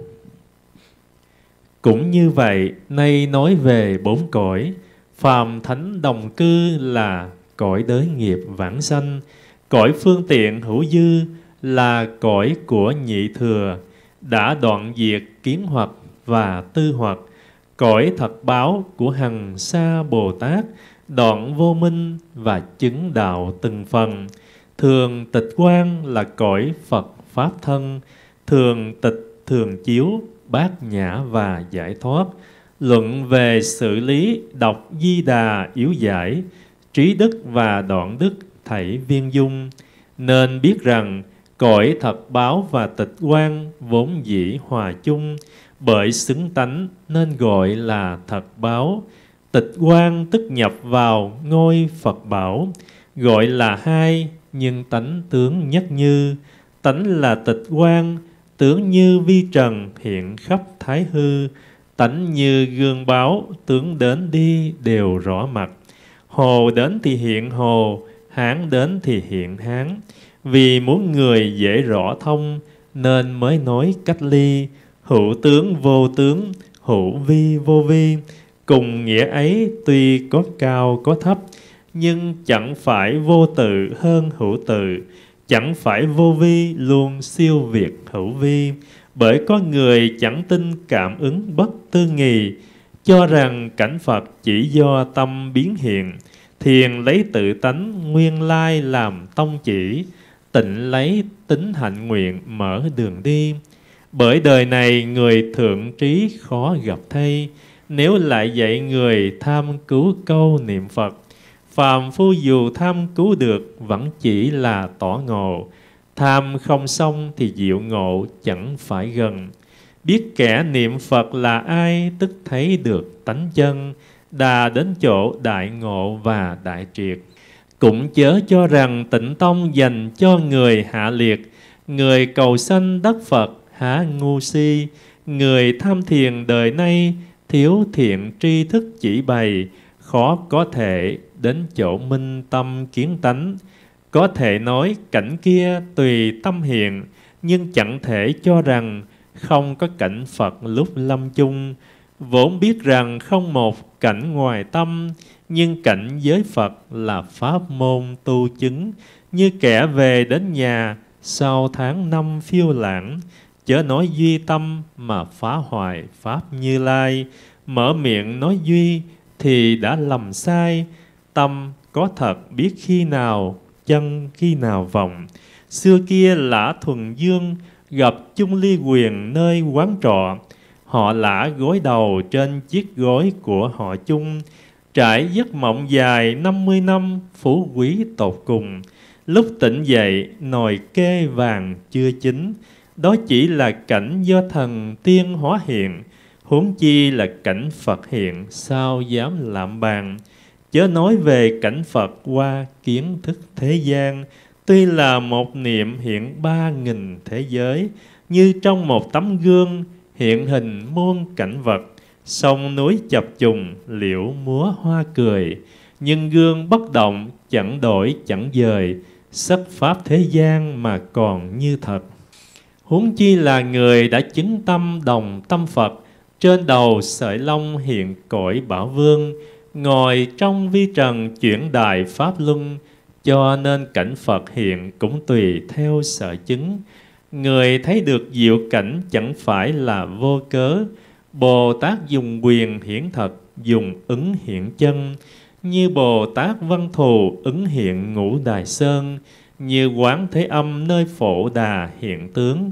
Nhưng cũng lắm kẻ chưa từng thấy được, nghe truyền tai thì tiếp tục truyền tai Năm quan tự ấn quan tôi đến viếng ngũ đài, bởi muốn tìm đọc thanh lương sơn chí. Hơn 40 ngày gặp nhiều người triều bái, kể nhau rằng thấy được Đức Văn Thù. Nói thấy thì nhiều, chẳng mấy kẻ trì tu, nên có thấy cũng chẳng thể là thật thấy. Luận về thần thông, nên biết sư đạo tế, ăn thịt uống rượu để tự che đức thánh nhân. Giả làm người ngu hồng ở lại cõi thế gian. Ăn chim chết khi ói ra thành chim sống. Uống chung rượu khạc ra thành vàng tô tượng. Nếu cho rằng bồ tát cũng như ai nếu người đời uống rượu mà chẳng cùng với đời say, nếu ăn thịt mà nhả ra sanh mạng, thì hãy uống rượu ăn thịt như bồ tát còn bằng không, xin chớ có đa ngôn cái khổ thế gian là thuốc trị bệnh, chẳng gì hơn. Thân trôi dạt biến ra thành pháp bảo. Người ở Bắc Câu Lô Châu không vào được đạo. Người cõi diêm phù oan khổ với giả dầu. Một đời không kết thảm thì cũng đeo sầu. Chợt nhìn lại tiết tháng ngày trôi nổi. Dân phiến băng tâm cầu sanh về đất mới, rủ sạch bụi hồng tìm lại nét phong tư dũng phù hoa vùi dập đã bao thu, miền phước địa nay gieo trồng giống phật ai biết được kẻ ngang tàn bội bạc, lại chẳng là một bồ tát ứng thân đọa đầy người gây não hại khốn cùng như tiếng trống thúc giục người mê muội. Nay lại nói đôi câu về xá lợi còn gọi là kim cốt hoặc xương thiên, kết tụ do tâm và đạo hợp thành, chớ chẳng phải tinh khí thần tu luyện, cũng không phải khi hỏa thiêu mới hiện, nơi người chân tu xá lợi sống tượng hình, xương thịt tóc da mỗi mỗi kết tinh, bởi thân ấy không phải là thân ô trượt, thiền sư tuyết nham cạo tóc hóa thành xá lợi. Có người trì danh miệng nhã ngọc phun châu, người in kinh thấy ngọc giữa long thư, người theo tượng đầu kim tuôn chỉ ngọc. Ngày hỏa thiêu sư trường, trời nổi cơn gió lốc, khói mù bay muôn dặm biết đâu là, khỏi đến nơi nào thì xá lợi tựa châu xa, đồ chúng thâu nhặt mang về hơn bốn thạch. Tuy màu nhiễm nhưng rõ ràng minh bạch, chẳng có điều chi gọi là dấu kính bí truyền. Tà đạo dùng cách bí hiểm buộc phải thệ nguyền lời độc hại tương tự như áp đặt. Đức thế tôn không có pháp gì bí mật dạy một người không khác dạy trăm nghìn giữa đạo tràng nói lời chánh đại quang minh không bưng bích không đặt người canh gác. Người học phật phải đề cao cảnh giác chớ lầm bọn yêu tà mượn pháp như lai. Khi dạy người thì cửa đóng then cài luôn chiêu dụ rằng có khẩu truyền huyền bí. Việc cầu cơ cũng là một trong những trò nhảm nhí, chiêu cảm hồn ma, giả dạng thánh thần. Hỏi chuyện thế gian thì chuyện biết, chuyện không. Hỏi Phật Pháp thì nói quanh, nói quẩn. Hồn nương dựa vào lòng người dẫn dắt, Thánh muốn dạy người chẳng nhọc dán vào cơ. Lòng tham cầu sanh tai họa khó ngờ. Hãy chuyên chú vào pháp môn niệm Phật. Nam mô A Di Đà Phật. Thì có in 2.000 cuốn thi kệ tốt yếu à, hai tuần trước có cúng dường anh em huynh đệ đó. Chắc là một số những người à, thích thú đọc đọc đi đọc lại. Cũng như ở đây mỗi lần à, đọc xong thấy cái phần nào hay quá thì lên giảng để cho thầy Minh đọc thì khi nghe lại nó thấm thía nó hay lắm. Còn nếu mà mình đọc sơ sơ đọc lớt lớt đọc cỡ ngựa xem đèn thì à, không hiểu nghĩa lý nổi rồi chán. Cho nên thành ra à, Phật pháp khó nghe Phật pháp khó đọc Phật pháp khó nghĩ Phật pháp khó làm Phật pháp khó chứng hảo đạo tràng năng ngộ Phật đạo năng thành. Khó chứ không phải dễ đâu. Bọn phàm phu mình là cái trí phàm phu mà đọc vào lời thánh hiền phật bồ tát không phải đọc vô cái hiểu liền. Ở trong này thi kệ ngài có nói cái đoạn cuối là ở bên trung quốc hồi trước là ngài hay cầu cơ. Họ cầu cơ là cầu hồn lên để mà họ nói chuyện với các vị uh, hương linh vô hình đó. Giờ trên chùa mình đang đang có cái cái việc mà sôi động trên đó gần như một nửa là theo cái cô gì đó mình cũng không tiện nhắc tên. Ở trên mạng họ phổ biến là niệm Phật với hương linh. Thì khi mình niệm Phật là mình thấy hương linh ngồi bên cạnh mình, rồi mình liền niệm Phật cái cho hương linh siêu thoát. Chỉ có tôi mới làm được như vậy thôi. Bà đó mới nói vậy. Còn mấy thầy là không làm được cái chuyện này đâu. Mục tiêu niệm Phật để tiêu ngã mạng đi mà bà càng niệm Phật bà càng ngã mạng rồi niệm với hương linh, thời gian cái hương linh nhập luôn. Giống như cái bà cụ hôm bữa ở trên đó. Bà niệm Phật riết, bà lại Phật riết và thấy toàn hương linh. Cuối cùng hương linh mới lần đầu đến ngồi bên cạnh xong cuối cùng hương linh đòi giết bà. Bà sợ quá, bà phải uống thuốc tự tử luôn. Niệm Phật vậy có đúng không? Dĩ nhiên khi một câu Phật hiệu thì tất cả 10 phương pháp giới, từ cảnh giới Phật đến cảnh giới địa ngục, thì trong đó có ma quỷ, tất cả hương linh họ nghe được hết nếu họ nghe được thì họ cùng niệm Phật với mình, chứ gì đâu mà khởi niệm lên là niệm Phật để mà cho các vị hương linh đó họ siêu thoát. Lẽ dĩ nhiên trong công đức niệm Phật là siêu thoát, nhưng mà không để cái tâm vô đó. Khi mình niệm Phật, mình phải nhớ Phật, mình nghĩ đến Phật chứ. Bây giờ ở trên đó lan tràn luôn. Cho nên thành ra một số những người họ theo đạo tràng mình, nhưng mà hình thức nhiều lắm. Không những đạo tràng của mình, không phải những pháp hội mình trên đó, mà nhiều người họ kêu niệm Phật cho hương linh nhanh lắm. Hương linh lại báo là là họ được vãng sanh rồi. Cũng như cầu cơ đó, nói chuyện thế gian thì chuyện biết chuyện không, nói về Phật pháp mình nó quanh, nó quẩn. Vậy mà họ kêu cái gì họ cũng biết. Mình không phải chê bai, chỉ trích mình xem thường hương linh. Họ cũng là một con người như mình mà họ sống qua một cái thân chung ấm. Họ chưa được đi à, làm loài súc sanh hay loài người hay sanh về cõi trời. Họ gọi là một cái thân chung ấm. Nó không có cái sắc ấm là đất nước gió lửa thô kệch như mình họ sống bằng thân tư tưởng, họ ăn bằng cái hơi hơi hửi là họ ăn bằng cái thức thực á, họ hửi vô, rồi họ thấy no chứ không phải đoàn thực như mình, họ nhai. Họ cũng là một cái thân như con người mình, họ cũng biết vui, biết buồn, biết giận, biết hờn. Nói láo nước sượt cũng có, nói đúng cũng có. Là một con người phàm phu vẫn còn tham sân si đầy bụng dạ. Vậy mà cầu cơ lên hỏi họ, cái gì cũng hỏi, có cái ông đó, ông hỏi, bây giờ cái người đó bệnh cho uống thuốc làm sao? Họ kê to ra uống cái trên mặt ông tổ rầy cái vụ này. Cái công thức niệm phật là gì? Nhớ phật, niệm phật, nghe cho kỹ, niệm cho rõ ràng, nhớ cho rõ ràng, biết mình đang niệm phật, đủ rồi. Họ đủ duyên thì họ đến với mình, họ ngồi, họ nghe, họ niệm phật. Còn không đủ duyên thì thôi. Không đủ duyên mà bắt họ ngồi cũng không được, như ở đây hôm nay, những người còn sống cũng như là âm dương đồng nhất lý à kêu họ vô đây ngồi nghe mà họ chán phèo. Họ kêu họ nghĩ đến chuyện tiền bạc, lo công việc, họ không có rảnh ngồi đây đâu. Kéo họ cột, họ ngồi, họ cũng không chịu ngồi nữa. Hương linh cũng thế thôi. Kêu họ ngồi niệm phật với mình mà họ gì? Họ suy nghĩ họ đi chỗ khác thì mình cũng chịu thôi. Thì cuối cùng gì? Cứ nghĩ về hương linh, nghĩ về cảnh giới vô hình, niệm phật mà không nghĩ đến phật. Không nghĩ về tướng tốt của phật, quang minh của phật, cảnh giới của phật, công đức của phật. Thì cuối cùng bên đó đó, cô đó đó bỏ loạn lên rồi phải chạy xuống đây, chạy xuống đây rồi bỏ một mình đi buổi trưa đi ra ngoài rồi cuối cùng gì? Uống thuốc tự tử, may đi lên bệnh viện hồng mỹ, nó xúc ruột trong thời chết rồi. Bữa sau lên gặp giác nhàn giác nhàn nói, bà tu chặt rồi. Cái thời khóa đại chúng qua có trì đại bi nè, buổi chiều nè, rồi có tụng kinh, có niệm phật đầy đủ trong đó. Rồi tại cả đại chúng tôi không sao, mà tự nhiên bà là tôi có vấn đề nghe hương linh rồi cuối cùng sợ hương linh quá, rồi cuối cùng gì? Uống thuốc tự tử chết một số các thầy, một số vài thầy bên ngoài, chúng tôi không nhắc tên, cũng kéo phật tử đi để niệm phật cho hương linh, lên núi lên đồi gì đó để niệm phật cho hương linh. Trên đồi niệm phật hương linh nhiều hơn dưới chùa. Nguy hiểm vô cùng. Nên là không có lời của tổ các vị đi trước để hướng dẫn mình là xa hầm sập hố. Nguy hiểm vô cùng chứ mới đơn giản đâu. Thì à, mong mấy anh em huynh đệ và một số phật tử ở khắp nơi khi nghe qua cái video này đó, thì nhắn tin vào cái số 0909 74 74 74 á.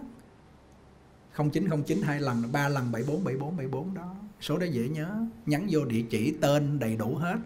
Thêm một số điện thoại, xin cái cuốn thi kệ tốt yếu và sau lưng đó. Có 70 cái mẫu chuyện. Sau lưng cái cuốn đó, sau lưng thi kệ thức yếu là có 70 cái mẫu chuyện thầy tánh ông chích ra rất hay trong văn sao. Toàn bộ những mẫu chuyện trong văn sao. Của ngài pháp chiếu đồ, phải nói là hay, cực kỳ hay. Phật tử ở trong nước mình ở nước ngoài thì khó chuyện bằng bưu điện hoặc là chuyển cho gia đình của mình gửi đi nước ngoài, chúng tôi tặng miễn phí. Cuốn kinh à, phổ môn, kinh a di đà ngũ bách danh đó, bữa nay cũng in 2.000 cuốn rồi đó. Cứ gửi tin nhắn đến là sẽ đóng gói tặng miễn phí, gửi tới nơi tặng cho quý vị. Cho nên chúng tôi rất thích cúng dường kinh điển, in kinh điển. Trong kinh nói là 10 công đức, in kinh ấn tống tượng Phật, tội nặng thành nhẹ nhẹ biến mất mà. Mà mỗi lần mình xin rồi mình xin cho bạn mình nữa cũng được. Nếu mà 2.000 cuốn hết, chúng tôi in tiếp 2.000 5.000 in in kinh tặng cho quý vị. Để chúng ta gì? Coi đọc vào trong này. Những cái chỗ mà chúng tôi đọc ở trong thi kệ mà chỗ nào hay á, chúng tôi bôi đen. Trong vi tính mình nó có cái chỗ mà mực đen bôi lên. Vì hay quá. Thực sự là phải lời của tổ là cũng như là là là là kinh kệ rồi mà. Bất hủ rồi có thể nói cảnh kia tùy tâm hiện. Để chúng tôi nói. Tất cả các cảnh đều từ tâm hiện ra hết. Nhưng đừng có nói là cảnh Phật không có. Ngoài tâm mình không có, cảnh Phật không có. Đừng nói vậy. Không đúng đâu. Cảnh người có thì cảnh súc sanh mình thấy có, cảnh địa ngục ngạ quỷ có. Atula có, Phật Bồ Tát có chứ. Có thể nói cảnh kia tùy tâm hiện, nhưng chẳng thể cho rằng không có cảnh Phật lúc lâm chung lúc lâm chung thì cái người mà họ niệm Phật đó đó cái tâm họ tương ưng với Phật thì cảnh Phật xuất hiện những người bên cạnh không thấy. Bởi vì người bên cạnh chưa niệm Phật đi vào cái cảnh giới giống như người lúc lâm chung mà họ đã niệm Phật thành phiến thành khối hoặc là cảm được với Phật cho nên người bên cạnh không thấy. Nhưng mà nghe mùi thơm. Phật xuất hiện có mùi thơm có ánh quang minh có. Có những lúc ánh quang minh và mùi thơm á, mùi thơm ba ngày chưa hết luôn. Cho nên một số Phật tử khi nghe qua cái đĩa này, phải minh định được cái con đường của mình đi, thì bây giờ hiện tại trên mạng là video lên YouTube là đầy hết.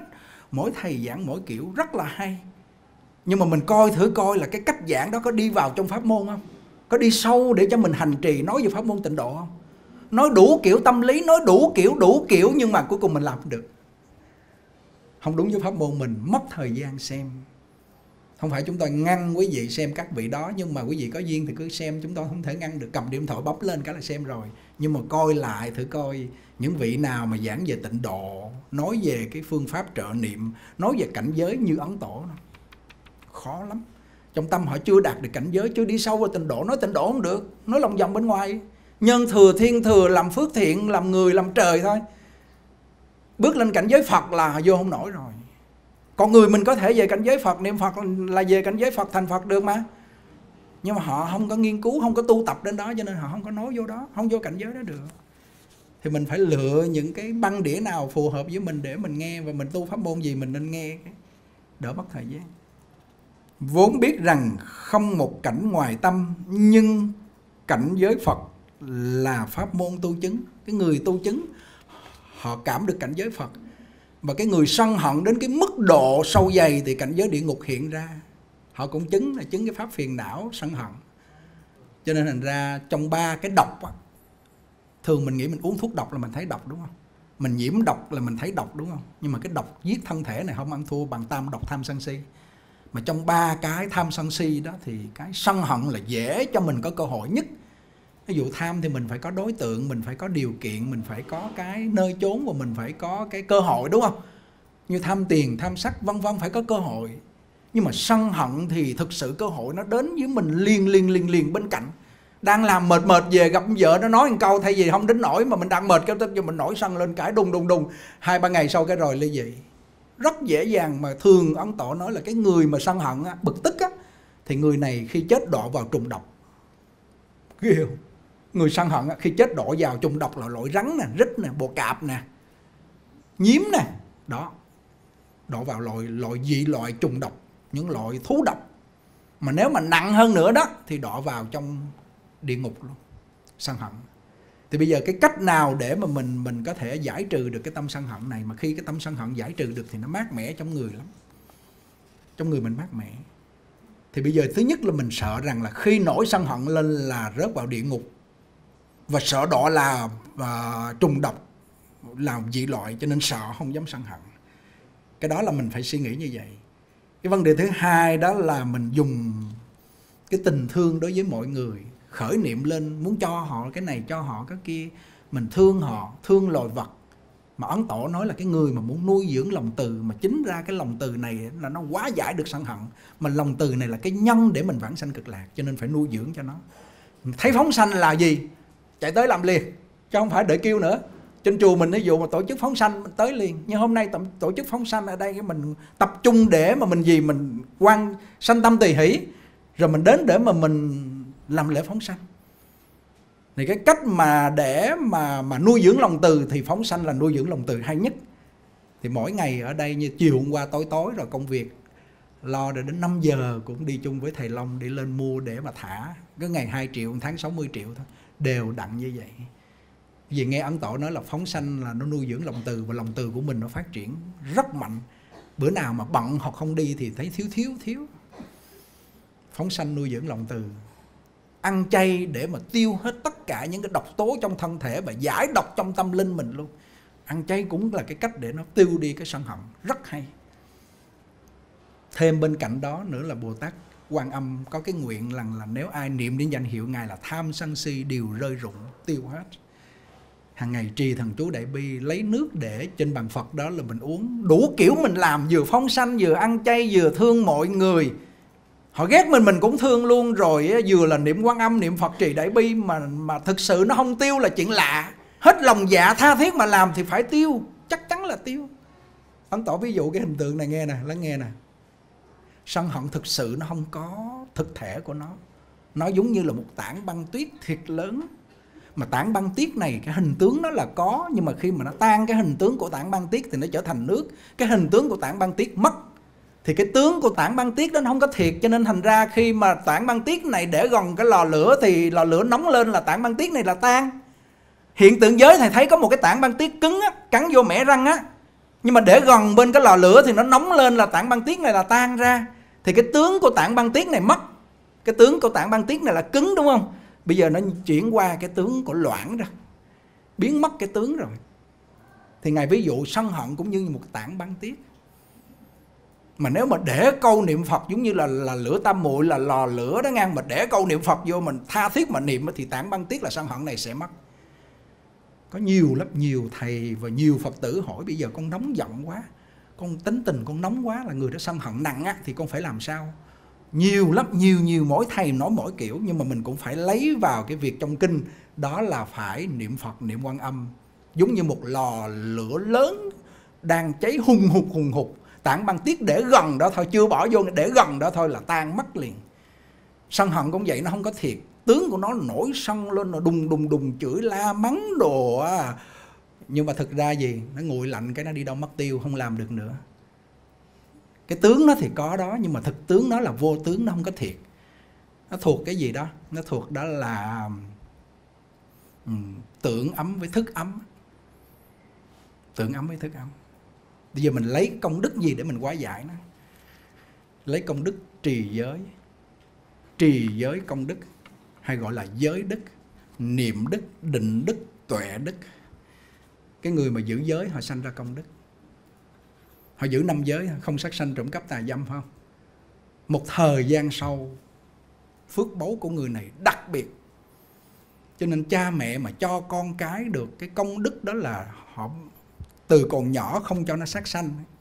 Ấn tổ nó đơn giản như thôi mà chỉ nó là cái giới giữ sát sanh đó rồi từ còn nhỏ đừng cho nó tham lam, là để nó khỏi trộm cắp á. Từ nhỏ là biết chỉ cho nó thương người, thương vật. Cho nó đó là cho cái đức á, cho nó sự nghiệp tổ đức á. Thì khi mà mình người người mà mà mà họ giữ năm giới, họ được một cái công đức, rồi họ giữ 10 giới, rồi họ giữ 250 giới, thì những cái công đức mà họ giữ đó, cái công đức mà họ giữ giới mà được đó đó, thì không ai lấy được thí dụ mình có tiền được bạc tỷ phải không? Lỡ gửi ngân hàng hoặc là mình để trong nhà ăn trộm ăn cướp hoặc nhà băng bị uh, sụp tiệm uh, bị uh, băng đắp si đúng không?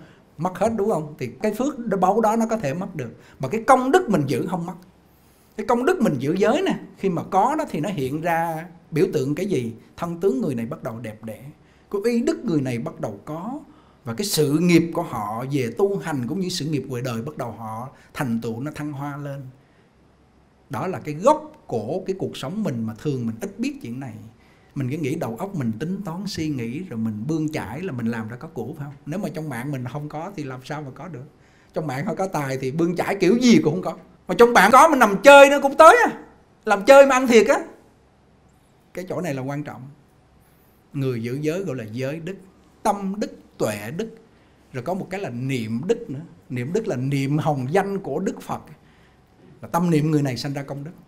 Mình biết như vậy rồi mình cũng đâu có khổ khổ cực vất vả gì lắm đâu. Mà nếu mà mình niệm phật mà sanh ra công đức được rồi mình chỉ người khác niệm phật thì công đức này còn hơn bảy báu cúng dường suốt trăm năm. Hôm bữa có nói đó. Mà đi lên con đường này rất khỏe. Ví dụ như là chú uh, tính ha ông hay đi hốt rác. Rồi ông gặp mấy cái người uh, ăn xin hoặc giả gặp mấy cái người mà phật tử hoặc gặp mấy người bình thường á, họ nói được cho người đó niệm phật. Một câu niệm phật chỉ cho người khác niệm được á nghe, là công đức bằng cúng dường bảy báu suốt trăm năm. Thích không? Quá trời thích. Hôm bữa nghe đến đây là kêu, ô vậy hai tuần có khi nào khỏe khỏe một tuần. Nó mệt mệt thì ba tuần lên nói cho người ta niệm phật về công đức bằng cúng dường bảy báu suốt trăm năm.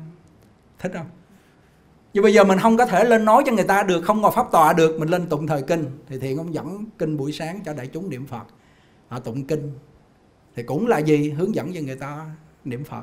Rồi in kinh, in tượng phật đủ kiểu, rồi phát tâm cúng dường tịnh tài để người ta in kinh, in tượng phật cũng là chỉ cho người khác công đức, lợi tha về này, về pháp môn tịnh độ, về niệm phật hôm nay đại chúng mà nghe được điều này rồi bắt đầu mình ươm mầm trong tư tưởng mình mình thích thú chuyện này.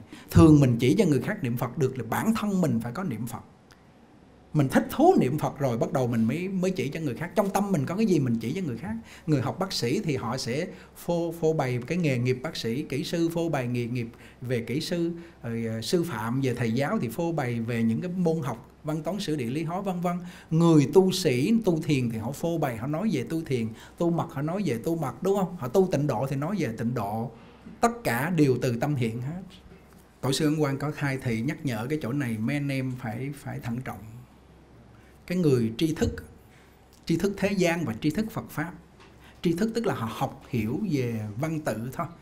Họ tư duy về văn tự mà không thực hành, họ rất giỏi, miệng mồm nói lẹ làng về tri thức thế gian họ biết cái chuyện về thế gian về tri thức Phật pháp họ biết về Phật pháp họ thông tam tạng kinh điển ấn tổ hay gì gọi là dùng danh từ gọi là đại thông gia. Nhưng mà họ không có dụng công tu hành. Thì khi mà nghiệp lực mà tham sân si mà phiền não lẫy lừng á, thì tri thức này không cự lại nổi nghiệp lực. Rồi lúc mà thọ mạng họ hết bắt đầu họ đi luân hồi á thì họ cũng phải bị nghiệp nó nó lôi đi thôi còn nếu mà họ lấy cái tri thức học hỏi này bắt đầu họ áp dụng, mà thường những người tri thức họ lý luận nhiều á, thì họ khó vô thực hành công phu, nhất là pháp môn tịnh độ, rất khó. Bởi vì thấy quá đơn giản. Lúc trước diễn nhàn đang làm cái công trình, cái hồ dưới này nè, thì có một ông ông đầu bên ngoài ông đi vô vô ngay chỗ cái cái cái nhà dù mình đang ngồi trên này luôn. Ông kêu, trời, nó năm 2011 12 bắt đầu cũng giảng có đĩa rồi đó. Ông kêu chứ nghe thầy giảng trên đĩa trên băng đồ này nọ nay vô gặp thầy ngồi đàm đạo uống trà. Nó kêu trời nay bận quá đang làm công trình có thời gian đâu mà rót trà mà uống.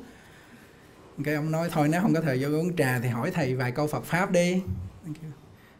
Phật pháp cũng phải có nơi chỗ đồ hỏi phải có, chỗ rồi chứ này cũng đang làm công trình nữa người mình nữa bụi bặm rồi không vậy mà ờ, nói Phật pháp cái gì? Ông kêu uh, tâm mình thanh tịnh rồi thì mọi vật thanh tịnh hết chứ người dơ cũng đâu sao đâu. Trong lý phá sự thôi. Thì mình biết là anh này là ba gai rồi. Ờ, kêu ở vậy thì ngồi. Nhưng mà không có nước uống ngang bởi vì bận quá ai cũng đi làm rồi ông này là không cho uống nước. Nước lạnh cũng không cho uống luôn. Vì sao vậy? Ngông ngông nghênh nghênh đúng không? Ví dụ phật tử mà vô mà còn ngoan đạo một chút còn rót nước trà rồi cho uống còn mấy tên này là ngông ngông là biết rồi đó rồi vô hỏi có cái gì hỏi thì hỏi đi rồi uh, biết thì thì ở đây sẽ trả lời rồi mình nói chuyện chút xíu thôi nghe không có thời gian nhiều đó cũng không muốn tiếp á. Nhưng mà nói trong bụng thôi chứ không nói ra bên ngoài thì hắn kêu thầy biết tam bảo là gì không? Trời ơi coi như là cái ỏ tam bảo mà không biết nữa thôi vậy là chú không biết tam bảo là gì hả? Ông kêu thì ờ, biết thì biết nhưng mà biết sâu xa đó thì hỏi thử thầy biết không? Thầy kêu, tôi dốt lắm, không biết gì ở trơn. Tâm bảo phật pháp tăng thì ai cũng biết cái danh từ đó mà. Cái thầy nói vậy chưa đúng. Không? Đó. Rồi bắt đầu là thì cũng im lặng nói gì hết. Rồi mình quay ra hỏi sao ở nhà có niệm phật không? Cái tâm mình là phật, rồi cần gì niệm phật nữa thầy? Họ có ăn chay không? Cái tâm mình, lòng mình là thanh tịnh rồi. Thì thân này nó là giả, rồi ăn gì không được thầy. Trời ơi, toàn là ngông ngông nghênh nghênh. Đó là đó. Đó là đại thông gia chấp lý nếu mà nếu mà ăn mặn mà ăn vô con chim mà nhả ra con chim như hồi nãy, cái thi kệ của ấn tổ nói là ngày à, tế công á, thì ăn con con chim chết thịt á, nhả ra bằng con chim sống á thì ăn. Còn ông này ông ăn một miếng miếng thịt vô, ông nhả nguyên khối ra còn không được. Nữa nó xuống là thành thành phân rồi. Đúng không? Vậy mà gì? Chấp lý, phá sự. Lòng mình là phật chưa thể tánh mình là phật đó nhưng mà phật này bị che lấp rồi. Ánh trăng thì có đó, mặt trời có đó mà mây nó che rồi. Che dày đặc hết rồi, không thấy ánh sáng. Vậy mà cứ chấp trăng ở trong đám mây đó, cứ chấp ở trong đó mà cái cái cái trăng nó không chiếu sáng. Cứ chấp là trong thân mình có thể tánh nhưng mà không có dùng nó được. Diệu dụng nó không có phát tâm minh tứ trí ngũ nhãn lục thông được. Vậy mà cứ chấp lý phế sự đọa lạc chết. Cho những người này thì đem cái tri thức đây nè, vứt ra ngoài đông dương đại hải đi làm kẻ ngu phu, ngu phụ niệm phật đi thì có thể liễu sanh thoát tử được, nhưng mà khó lắm. Cực kỳ khó với người này. Họ không chịu tu, họ học lý thôi, rồi họ bác sự đi.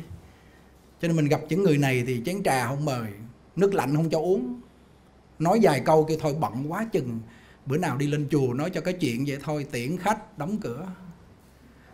Cho nên cái người mà thượng thượng, họ hay làm người hạ hạ người mà thiệt giỏi họ làm như họ ngu dốt. Thấy ấn tổ quan từ nhỏ thiếu học. Có ai dám nói mình thiếu học không? Lớn lên vô tri không biết gì, chứ ăn bám phổ đà 30 năm. Ghê không? Các hạ thông tông thông giáo, chứ còn riêng quan thì chỉ biết pháp môn niệm phật cầm cụi niệm phật với kẻ ngu phu ngu phụ. Thấy chưa? Bồ tát thượng thượng là bồ tát, làm kẻ hạ hạ hạ ngu. Còn mình là hạ hạ thì thích làm kẻ thượng thượng thì trả thành thượng thượng mà cho thành hạ hạ hạ hạ hạ luôn. Thấy không? Cứ càng khiêm hạ chừng nào thì người ta càng tôn kính mình chừng đó. Càng ta đây ngã mạng chừng nào cho mình biết là người này coi như không học hỏi được cái gì, là càng chả biết cái gì. Cái này là cái tinh túy trong văn sao. Biểu pháp của ấn tổ là cái chỗ này. Ấn tổ là ăn một ngọ, ăn một buổi mà suốt 30 năm những người đó gửi thư đến là họ nói họ ăn một ngọ. Thì ấn tổ nói, các hạ tu hành quá tinh tấn. Tôi đây còn ăn chưa được một ngọ. Mà ngài ăn một ngọ đó mà ngài nói, tôi đây còn chưa ăn được một ngọ đây mà các hạ ăn được một ngọ tốt quá.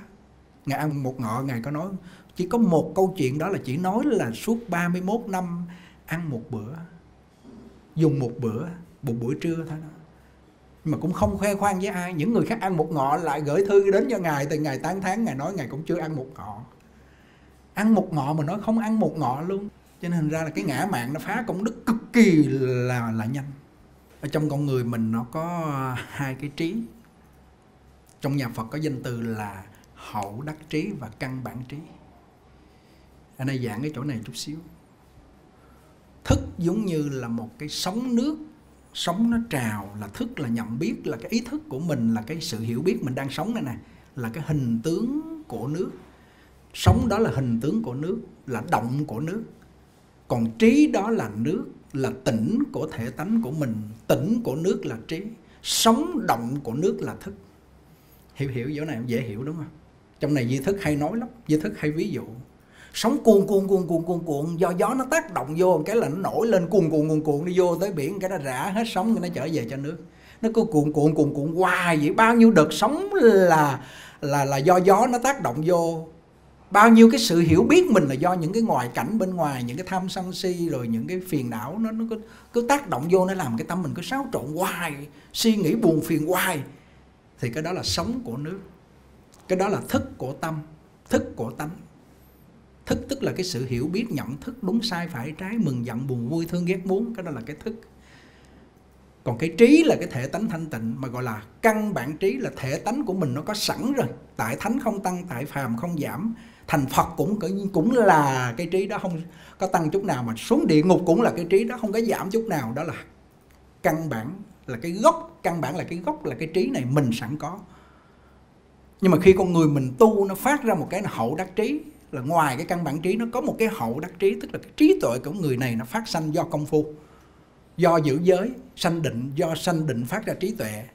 Nhưng mà cái hậu đắc trí này nó cũng là dụng của cái căn bản trí thôi.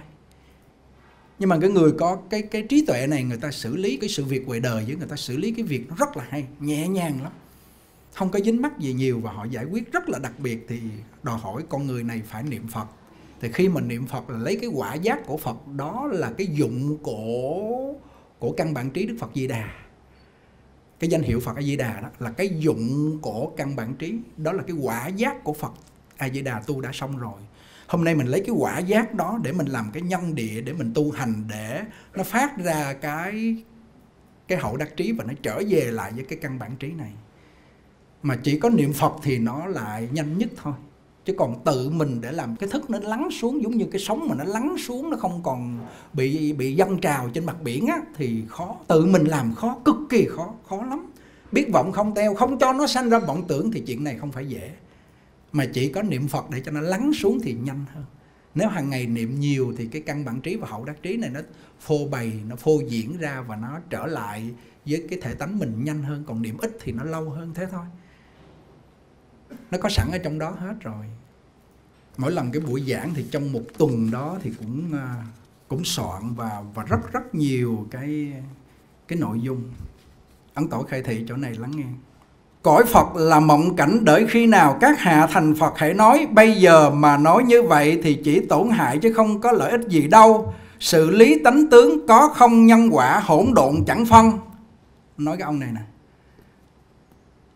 Chỉ nên học theo ngu phu, ngu phụ, cấm cuối niệm Phật trí thành cung kính. Chỉ nên thành khẩn lâu ngày, chày tháng nghiệp tiêu, trí rạng chướng tận phước sâu vãng sanh tây phương cực lạc. Khi nào mà mình thành phật rồi đó, thì nói cảnh phật là mộng cảnh được. Còn mình đây thấy cảnh người là thiệt, thấy ăn là thiệt, thấy ngủ là thiệt. Thì nói cảnh phật là giả, thì mình cứ mãi ở trong phàm phu sanh tử, khổ đau. Có hại không có lợi đâu. Đừng nói vậy còn phật, ngài thành phật rồi thì cảnh giới phật cũng như cảnh giới của ta bà, địa ngục như ngài địa tạng cũng như cảnh giới phật.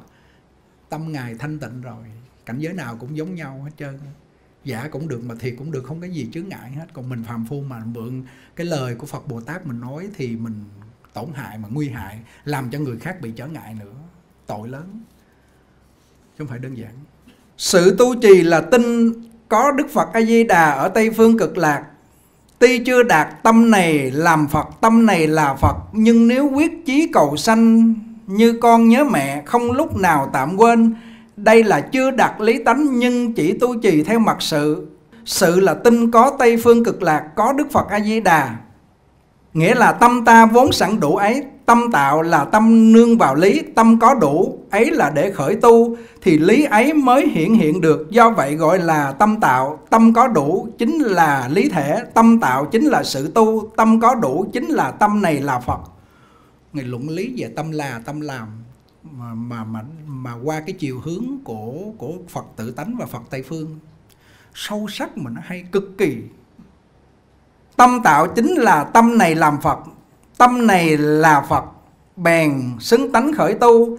Tâm này là phật, bèn toàn tu nơi tánh. Này, cảnh giới của ngài coi như là quá sâu rồi. Nhưng thành ra mình cứ đọc vào trong văn sao, cái từ từ từ từ cái bắt đầu là mình hiểu lầm ra.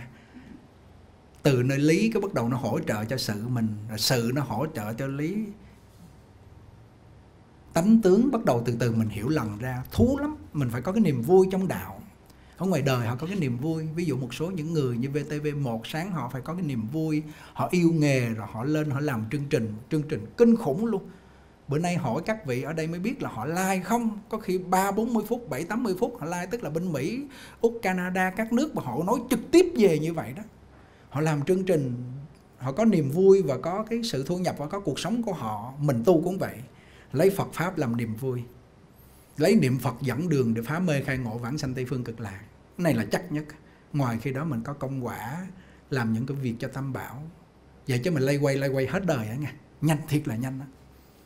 Ờ à, mới lúc chút xíu còn mười mấy tuổi chạy vô trong chùa tu bây giờ 50 tuổi rồi. Giật mình nhiều lúc ngủ ngủ dậy một hai giờ sáng kêu trội bên nay mình 50 tuổi rồi ta. Nó nhanh kinh khủng như vậy. Nhưng mà đối với mình một ngày mình qua thấy lâu một năm mình hơi thấy lâu 50 năm mình thấy như vậy phải không? Ở cõi trời ở cõi trời đâu xuất á một ngày, một đêm trên đó bằng 400 năm dưới này. Họ có cái phước đó, họ hưởng ở trên đó, cho nên thành ra họ sống đến mấy trăm năm, có khi cả ngàn tuổi. Mà mà mà 400 năm dưới này bằng một ngày, một đêm trên đó thì mình biết 100 năm trên đó là bao nhiêu ngày đêm dưới này, biết không? Cái phước báo họ kéo dài cái thời gian thọ mạng họ như vậy, nhưng mà hết phước rồi cũng phải gì, đọa lạc thôi. Thì tụ chung lại cái việc mình tu hành đó thì à, có cái đoạn mà ấn tổ khai thị về cái việc cung kính chỉ có bốn trang thôi đại chúng ngồi nghe cái đoạn này thật là hay nếu mình niệm phật mà không có tâm cung kính nó khác công đức nó không bằng cái người niệm phật có cung kính trí cung trí kính trong này ngài nói trí cung trí kính thì mình đọc này Nam mô Bổn sư Thích Ca Mâu Ni Phật. Nam mô A Di Đà Phật. À, vâng theo lời sư phụ chỉ dạy, à, con xin phép được à, tiếp tục đọc những lời khai thị của tổ sư Ấn Quang. Thành tâm cung kính dâng lên cúng dường toàn thể đại chúng. À, Nam mô A Di Đà Phật. Tổ sư Ấn Quang khai thị kiệt thành phương hoạch thật ít luận bàn về chuyện phải dốc kiệt lòng thành mới đạt được lợi ích thật sự ngạn ngữ có câu chẳng hạ mình thật sâu trước người khác chẳng đạt được lẽ thật lời này tuy nhỏ nhưng có thể ví cho điều lớn lao phàm trong thế gian lớn như kinh thuật văn chương nhỏ như một tài một nghệ nếu muốn thâm nhập diệu nghĩa đến mức thần tình muốn được cốt tủy nơi đạo truyền tân, tài nghệ xuất chúng, danh truyền cổ kim. Nếu chẳng chuyên tâm dốc ý, kiệt lòng thành, tận lòng kính, sẽ chẳng thể nào đạt được. Vì vậy, sách Quảng Tử có câu, hãy suy nghĩ đi, hãy suy nghĩ đi, lại suy nghĩ chính chắn đi. Nghĩ không ra thì quỷ thần sẽ tương thông. Không phải là quỷ thần tương thông, mà chính là do lòng tinh thành đến cùng cực vậy. Đời Hán Ngụy Chiêu gặp Quách Lâm Tông cho rằng thầy dạy kinh sách dễ gặp, thầy dạy làm người khó gặp, bèn xin theo học, hầu hạ quét tước. Lâm Tông thường hay bị bệnh, sai chiêu nấu cháo, cháo nấu xong dâng lên, Lâm Tông mắng ầm ĩ vì người trên nấu cháo chẳng để lòng kính cẩn làm nên không ăn được Chiêu lại nấu cháo khác dâng lên, lại mắng như thế ba lượt. Mặt ông Chiêu vẫn không đổi sắc. Lâm Tông nói, thoạt đầu ta thấy được mặt ông, nay ta mới biết được tâm ông. Đời Tống Dương Thời và Du Thố, thờ Trình Y Xuyên làm thầy. Một bữa học hỏi đã lâu, Y Xuyên chợt nhắm mắt vờ ngủ. Hai người học trò đứng hầu chẳng dám bỏ đi. Lúc lâu sau, Y Xuyên chợt tỉnh giấc nói, các trò vẫn còn ở đây à, về nghỉ đi. Bèn lui ra, ngoài cửa tuyết xuống đã dày hơn cả thước. Trương Cửu Thành 14 tuổi sang chơi quần tường, suốt ngày đóng cửa không có chuyện gì, thì chẳng vượt ra ngoài giới hạn ấy. Người học trò ở bên cạnh soi lỗ nhìn sang, thấy chàng ta ôm gối quỳ sát đối trước thi thư, như đối diện thần minh, bèn kính phục như trò đối với thầy. Bốn vị trên đây, những gì họ học chính là đạo, minh đức tăng dân của thế gian, là pháp tu tề trị bình, mà họ còn tôn sư trọng đạo, chí thành như thế, cho nên học được thành, đức được lập, khiến cho khi còn sống cũng như sau khi đã khuất, người đời ngưỡng mộ không thôi. Còn như dịch thu dạy cờ vây, cũng chỉ do chuyên tâm dốc chí, cho nên giỏi giang, như ông lão khom lưng đón ve, do dụng chí chẳng phân nên đạt được như vậy. Do vậy thấy rằng sự học không phân lớn hay nhỏ đều phải lấy thành kính làm chủ. Huống nữa, Như Lai trong bao kiếp xưa muốn khiến cho chúng sanh đồng thành giác đạo. Nếu không gieo duyên sẽ không do đâu đắc độ. Do vậy, Phật bèn hiện đủ mọi sắc thân, hiện hình trong sáu nẻo, đủ mọi phương tiện, tùy cơ lợi vật, mở ra đủ cả ngàn môn, đồng quy một đạo. Kẻ thiện căn chưa gieo, chưa chín mùi, chưa giải thoát, Phật bèn làm cho kẻ ấy gieo, chín mùi giải thoát. Nên dùng thân nào để độ được, bèn hiện thân ấy để thuyết pháp. Mây bủa cửa từ, sóng trào biển hành, lục độ đều tu, tứ nhiếp cùng lợi ích trọn khắp. Đấy là bố thí, trong ngoài đều xả, nghĩa là quắc thành, vợ con, đầu mắt, tủy não, thịt trên thân, chân tay đều hoan hỷ thí cho. Vì vậy, Kinh Pháp Hoa nói, xem trong tam thiên, đại thiên thế giới, không có chỗ nào chừng bằng hạt cải, mà chẳng phải là chỗ Bồ Tát xả thân mạng. Như Lai vì chúng sanh nên trải qua ba đại A Tăng kỳ kiếp rộng hành lục độ để kết khắp duyên chủng, đợi đến lúc căn cơ chín mùi, rồi Ngài mới thị hiện thành chánh giác, hoàng khai pháp hội, phổ ứng quần cơ. Với bậc thượng căn bèn hiển thị thật tướng, khiến họ sanh lên được bờ đạo. Với trung hạ căn bèn khéo léo tiếp dẫn, ung đúc dần dần, hiển mật quyền thật thiên viên đốn tiệm tùy theo căn cơ xếp đặt nên dùng pháp nào bèn dùng pháp đó tùy có ba thừa nhưng đạo vốn không hai vì thật lập quyền quyền là quyền đối với thật khai quyền hiển thật thật là thật đối với quyền thuận theo căn cơ khéo léo khuyến dụ dần dần khiến cho cả lý lẫn cơ đều khế hợp thì giải cùng hạnh mới được viên mãn dù người học chuyên chú đại thừa cũng chẳng được khinh miệt vứt bỏ tiểu thừa. Bởi tiểu thừa chính là pháp được lập ra để người học tiến nhập đại thừa, là diệu dụng độ sanh của Như Lai. Quả thật là phương kế rộng lớn để cho hàng hạ căn thoát khổ. Vì thế Kinh Tứ Thập Nhị Chương nói người học Đạo Phật thì đối với những gì Phật đã nói đều phải nên tinh thuần. Ví như ăn mật, dù ở chính giữa hay chung quanh đều ngọt ngào. Kinh của ta cũng giống như thế. Biển cả tuy có chỗ cạn, chỗ sâu, nhưng nước vốn chẳng hai vị. Phàm những gì thuộc về kinh Phật đều phải nhắc lọt tôn kính. Như mạng lệnh của lưng Vương dẫu đủ mọi chuyện khác nhau, nhưng đều cùng từ vua sắc truyền.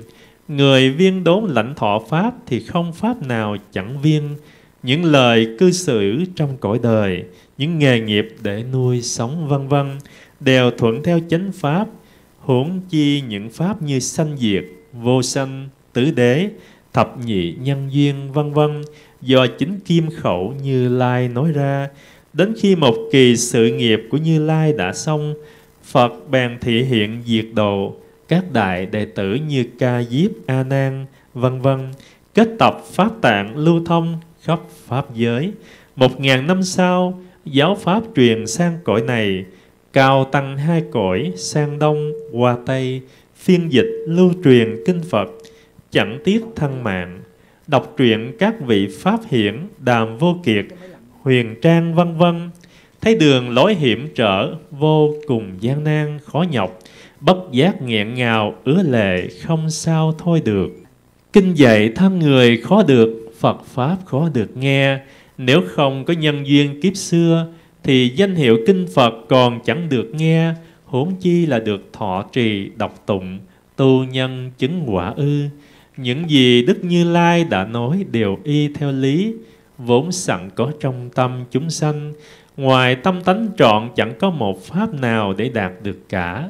Chỉ vì chúng sanh đang mê nên chẳng thể hiểu rõ. Trong chân như thật tướng bèn huyễn sanh vọng tưởng chấp trước. Do vậy khởi tham sân si, tạo giết trộm dâm, mê trí huệ nên thành phiền não. Ngay nơi thường trụ bèn thành sanh diệt, trải trần điểm kiếp không thể thoát được. May gặp được những kinh đại thừa hiển mật do Đức Như Lai đã nói, mới biết hạt châu vẫn yên nguyên nơi chéo áo, Phật tánh vẫn tồn tại, tự coi mình là khách, là kẻ hạ tiện, nhưng vốn thật là con ông trưởng giả. Trời người sáo nẻo chẳng phải là chỗ mình ở, thật báo tịch quan mới là quê nhà sẵn có. Nghĩ lại từ vô thủy đến bây giờ, chưa nghe lời Phật nên dù sẵn có tâm tánh này, vô cớ bị luân hồi oan uổng, thật là đáng đau đớn khóc than, tiếng rền đại thiên, tim từng miếng xé toạc, ruột từng tấc đứt lìa, ân ấy đức ấy, quả còn hơn trời đất, cha mẹ gấp trăm ngàn vạn lần, dẫu nghiền thân nát xương há có thể báo đền được. Chỉ có y theo lời dạy tu hành, tự hành hóa độ người khác, thì cỏ xuân mới đền đáp được ân nắng soi chút phần, hoa quỳ mùa hạ hướng theo ánh mặt trời mà thôi. Nhưng hiện thời tăng tục mở xem kinh sách, chọn chẳng thành kính tí ti nào, đủ mọi điều khinh nhờn, khó thể nêu trọn. Nhưng tập thành thói đã lâu, ai nấy coi là thường, hình tích khinh nhờn đó không nở nêu đủ. Xem pháp ngôn của Như Lai giống như giấy cụ rách nát, đừng nói chi những kẻ không biết chị thú, nên trọn chẳng được lợi ích. Ngay cả những người biết thật nghĩa sâu xa, cũng chỉ là ta muội đằng miệng, tỏa sáng ngoài mặt. Như đang đói kể chuyện ăn, như nghèo cùng đếm của báo, dù có công nghiên cứu, nhưng trọn chẳng được lợi ích thật chứng. Huống chi cái tội khinh nhờn quá thật ngập trời, thời gian thọ khổ há nào phải chỉ hết kiếp.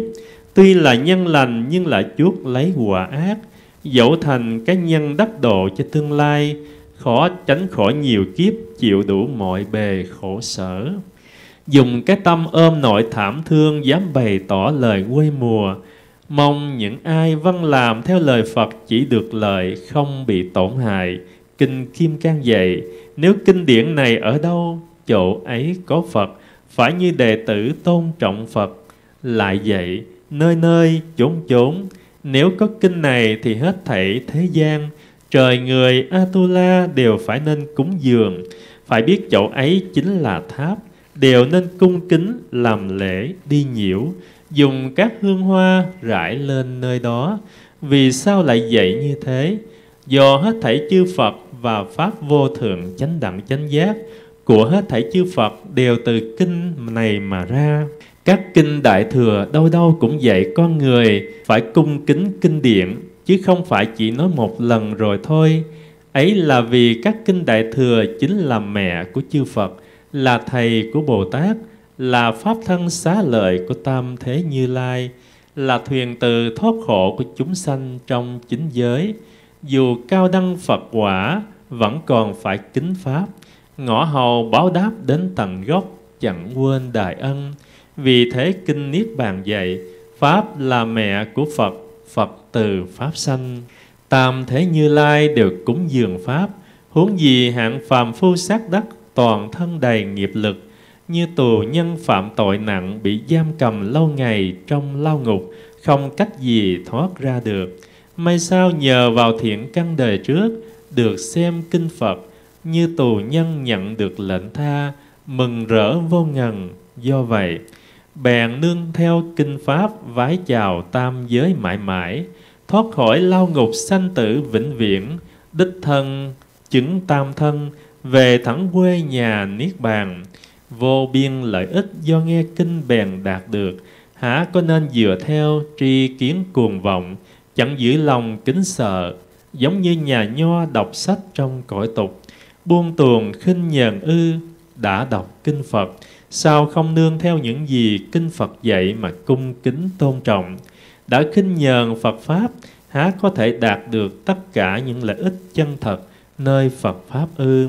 Nếu có thể tạm dứt những kiến giải cuồng vọng, đêm thanh tự nghĩ, tâm thần ắt sẽ kinh hoàng, thẹn thùng, nước mắt ràn rùa, buồn cho ngày trước vô tri, thề suốt đời sẽ dốc kiệt lòng thành, từ ấy, tâm ý nghiêm túc, cung kính, thân miệng thanh tịnh, vĩnh viễn giết sạch tâm thái xấu xa, thô lầu, luôn y theo khuôn phép thánh hiền của kinh luận. Nếu làm được như thế, ắt sẽ ở trong biển cả Phật Pháp, tùy phần tùy sức đạt được lợi ích, như tu la hương tượng và các loài mũi mồng uống nước nơi biển cả, loài nào loài nấy đều được no bụng, lại như một trận mưa thấm ướt khắp, cây cỏ đều tươi tốt. Như thế thì cái công thọ trì của chính mình mới chẳng uổng phí, mà tâm Như Lai giảng kinh, tâm hoằng pháp của chư tổ cũng được vui đẹp, an ủi, sung sướng phần nào. Nay đem những sự tích lợi ích do cung kính kinh điển của chư cổ đức chép đại lược vài điều, ngõ hầu những người chân tu thật hành, có cái để noi theo. Nam mô A Di Đà Phật. Tổ sư Ấn Quang có khai thị là cái phương pháp tu nó có nhiều cái phương pháp, nhiều cửa ngõ đi vào